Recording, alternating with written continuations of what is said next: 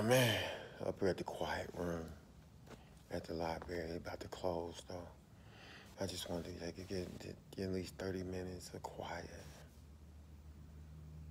Dayton Metro Library on Hillcrest in Philadelphia. If you're an author, a writer, this is like your sanctuary.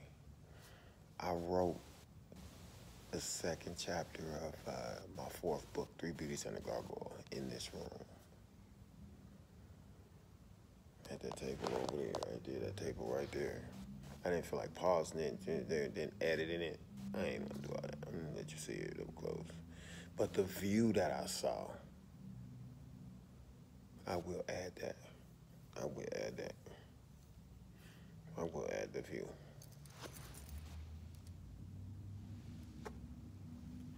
I will add the view though. I will add the view.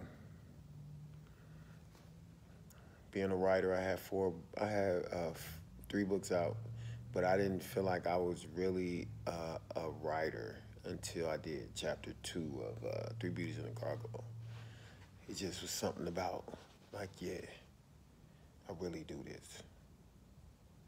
The view is beautiful. Let me get it for the library close.